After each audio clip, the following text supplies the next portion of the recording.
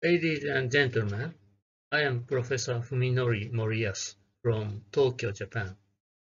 I am talking today regarding the role of liver package installed in Aplio I-800 for the evaluation of non-alcoholic steatohepatitis 2 cirrhosis.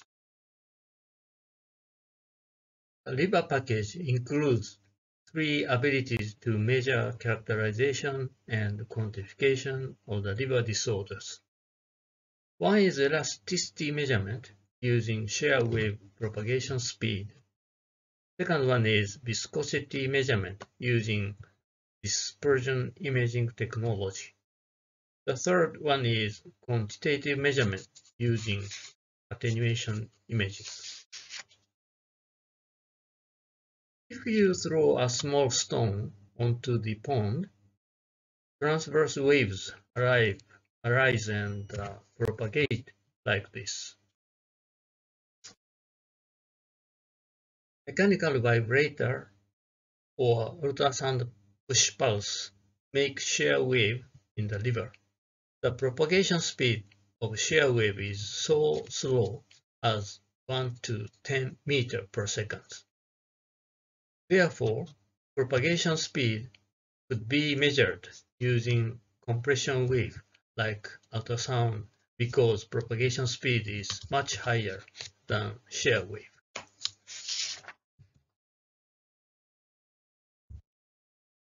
This is the principle of transient elastography. Mechanical vibrator makes shear waves in the liver by pushing the skin of the intercostal space. Ultrasound of M mode uh, traces the shear wave propagation and could measure their speed.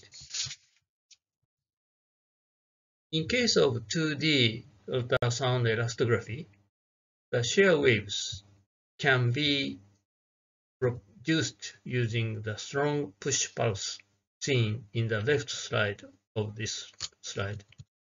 The shear wave propagation is observed and measured quantitatively using 2D ultrasound. This is 2D ultrasound elastography imaging.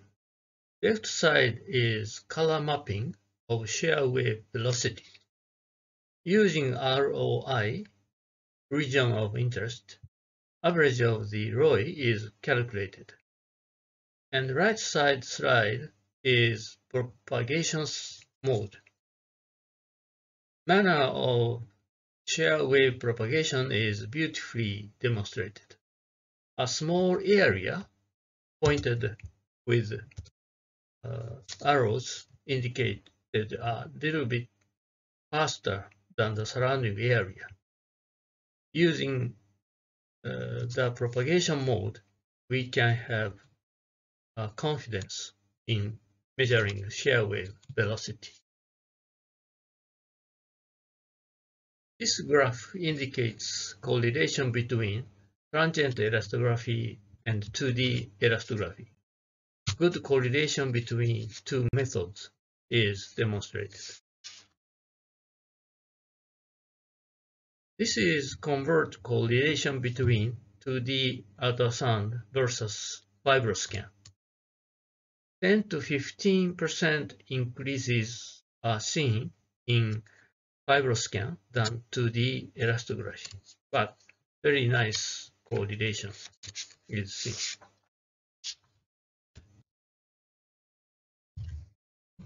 Liver package is installed in Aplio I-800 that is from shear wave propagation speed can tell us elasticity from dispersion imaging, viscosity and attenuation imaging to steatosis. MRI elastography is now commercially available. Shear wave is provoked by mechanical vibrator in MRI. This is uh, time. This is the uh, time change of propagation speed measured patients suffering acute hepatitis B. In acute phase, the speed is highest and recovery phase normalized. The authors concluded that in this case, heightened propagation speed is coming from necroinflammation of the liver.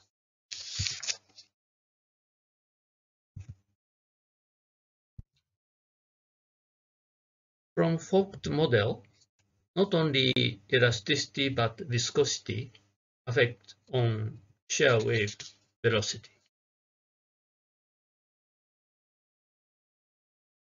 Measured shear wave velocity should be considered summation of elasticity and viscosity. How to measure viscosity dispersion technique? This graph shows correlation between elasticity and viscosity. Horizontal axis indicates frequency of shear wave. Vertical axis, shear wave velocity. Shear wave velocity is dependent on viscosity and not on elasticity. Therefore, by using slope measurement, uh, brings us viscosity of the river. This is a case of measurement of shear wave velocity and viscosity. Left upper indicate propagation speed measurement and right lower indicates dispersion slope measurement.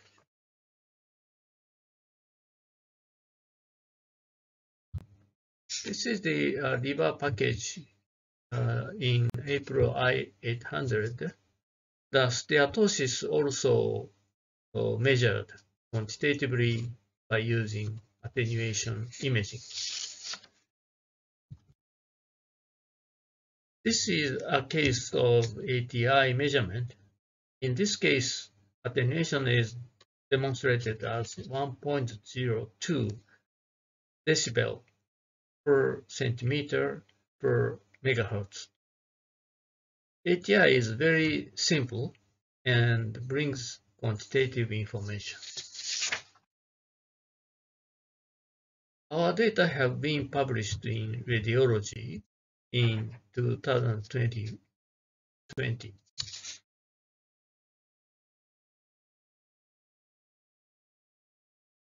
Steatosis grade obtained from liver biopsy is well correlated with ATI data.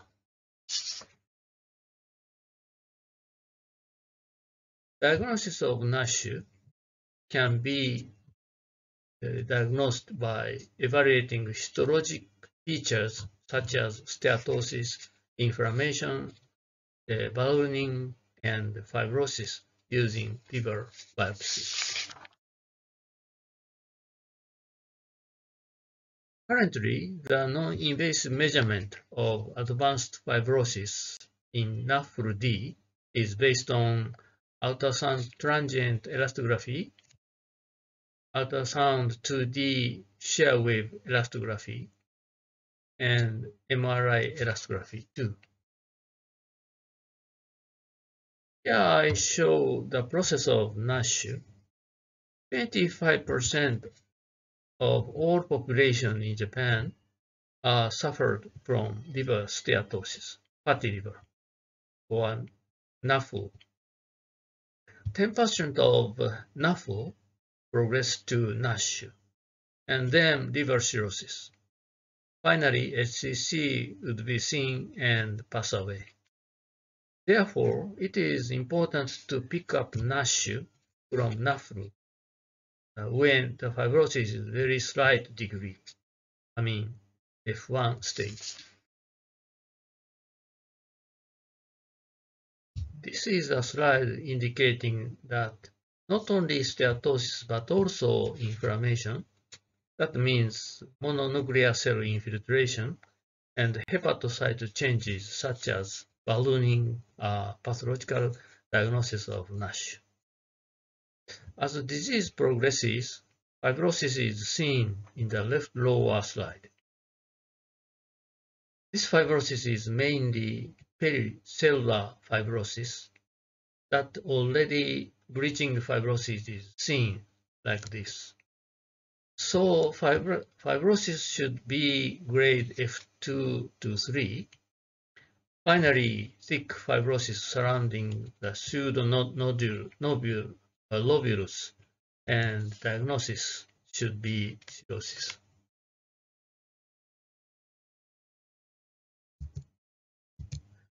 This slide indicating the process of pathophysiological changes seen in NASH liver. Steatosis is mainly seen as NAFL in the beginning of NASH.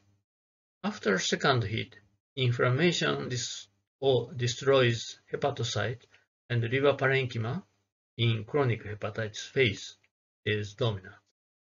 Finally, fibrosis is severe and dominant change of advanced NASH.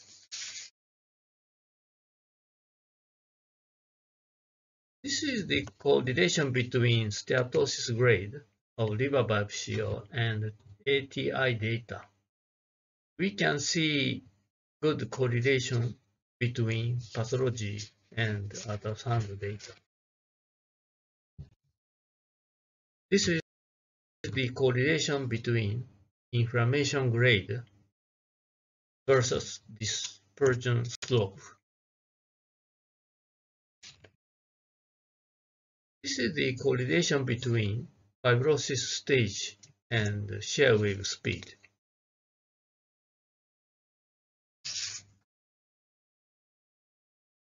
I show you a typical case of NASH. Uh, how about which stage of NASH in this case? Chief complaint is fatigability, sometimes. No alcoholic intake. Hypertension is treated antihypertensive pills. Body weight is 85 kilograms. Body circumference is uh, 102 centimeters. Typical metabolic syndrome. Obesity is also seen as 32%.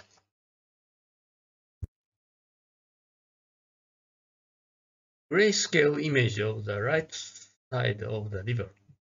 HCC scar seen treated uh, TACE, TACE, and molecular targeted chemotherapy. How about liver parenchyma changes? Steatosis cirrhosis? Uh, hepatorenal contrast. How about it?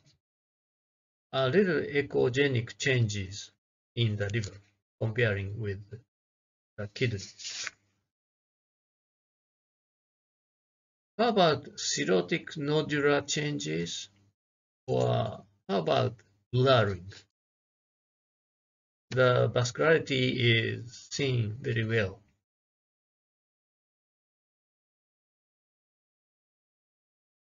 Contrast enhanced CT. Vascular imaging has higher contrast comparing with the, the liver parenchyma.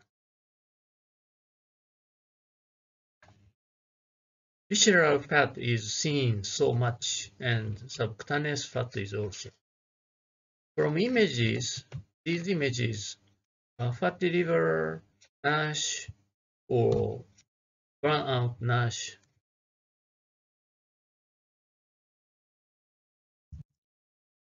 Blood chemical changes exams eh, indicate almost data except almost normal data except or glucose metabolism.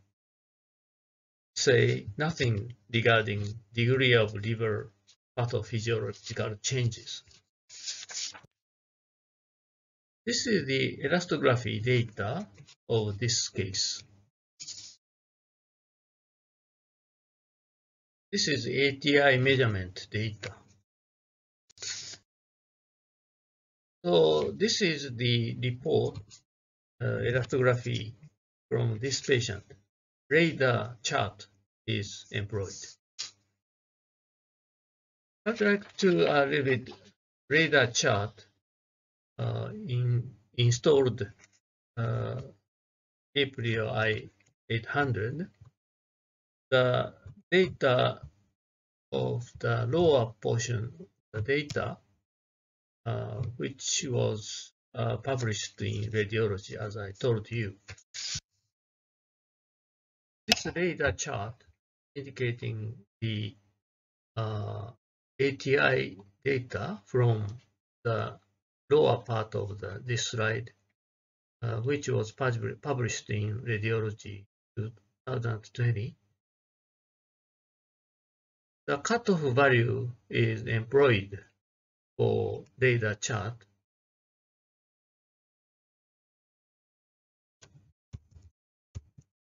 S1, S2, and S3 these cutoff values is uh, indicated like this. And second one is the shear wave dispersion data. Uh, that means inflammation, I mean chronic hepatitis. Also, the uh, cutoff level is indicated the, the A1, activity 1, A2, a3 like this. And finally, shear wave elastography, shear wave speed, propagation speed, also cutoff value is indicating the radar chart. F1, F2 plus 3, and F4 cirrhosis. The cutoff value employed also uh, from the uh, published data. This slide shows the radar chart of the previous uh, case which I show you, showed you. And the, in this case, the shear wave dispersion, I mean inflammation is still seen. And also the fibrosis is also uh, strongly suggested from this uh, radar chart. So we can this is the correlation in between pathophysiological process of the liver uh, disease, I mean NASH to cirrhosis. According to the process, the at first ATI indicate high values because of the fatty liver, and then the uh, inflammation is seen the second phase. And then finally, the uh, inflammation is not seen, but the fibrosis is severe. I mean, final stage of NASH, burnout NASH, I mean cirrhosis.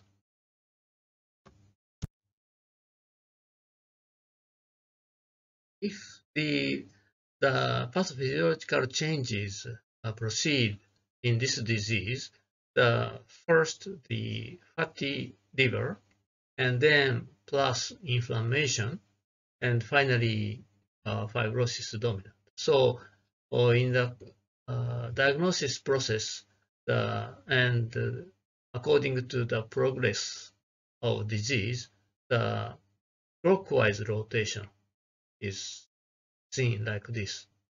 And uh, uh, when the patient is treated uh, for NASH, the recovery with treatment is seen like the anti-clockwise direction.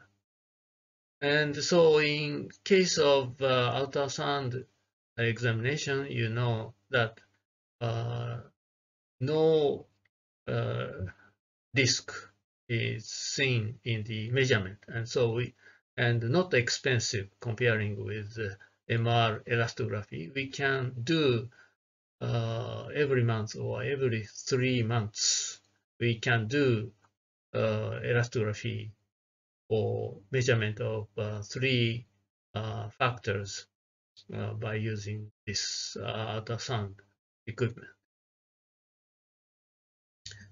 I can summarize my talk today.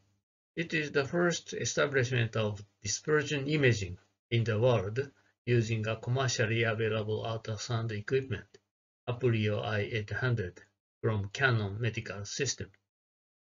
Now we can realize quantification both of viscosity and elasticity, which was awaited by clinicians and researchers.